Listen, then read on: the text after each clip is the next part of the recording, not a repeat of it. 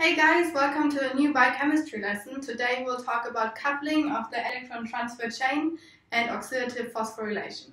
So we have drawn for you mitochondria here with the matrix, also called the N side, the inner membrane, the intermembrane space, also called the P side, and the outer membrane.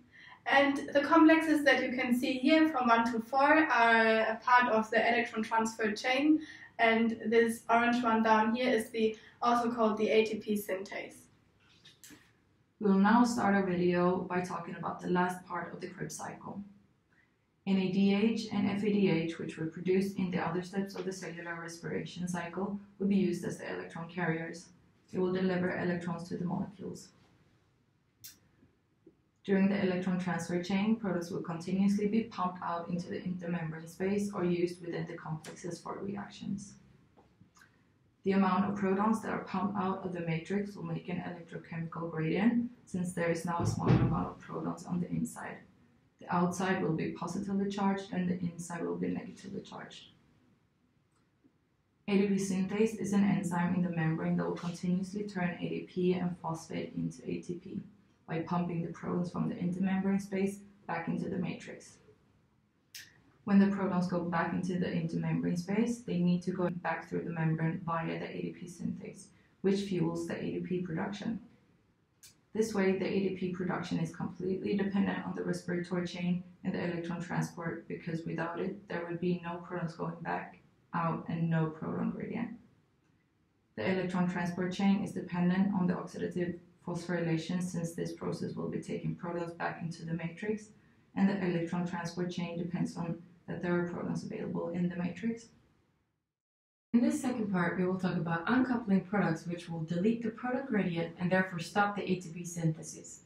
While they delete the proton gradient and directly affect the ATP synthesis to stop, they do not affect the electron transport chain. The chain will keep on pumping protons out into the intermembrane space, which will then be pumped back into the matrix by the uncoupling products instead of the ATP synthase. There are different uncoupling products like DNP, FCCP, and thermogenin. Thermogenin is an example of an uncoupling product that is located in the brown adipose tissue. When thermogenin is active, it will pump protons from the intermembrane space to the matrix, and by this process, it will generate heat. We can therefore say that there are exceptions for when the electron transport chain and the oxidative phosphorylation are dependent on each other.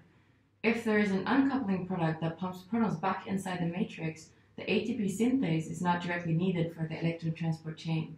However, this is only temporary and would not work in the long run. It would eventually lead to an accumulation of protons in the intermembrane space.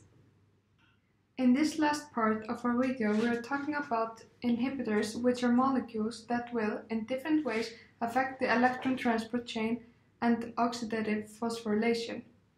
As you can see in this table, there are a lot of different inhibitors, but we will talk about cyanide as examples. Cyanide is an inhibitor which is considered toxic since it binds to the fourth complex of the electron transport chain. It attaches to the iron within this protein complex and inhibits the normal activity of the complex system. It binds tightly so that it cannot transport any electrons to oxygen. This blocks the further passage of electrons throughout the chain, halting the ATP production as well. We hope you enjoyed our videos. Thank you very much for listening. Hasta luego.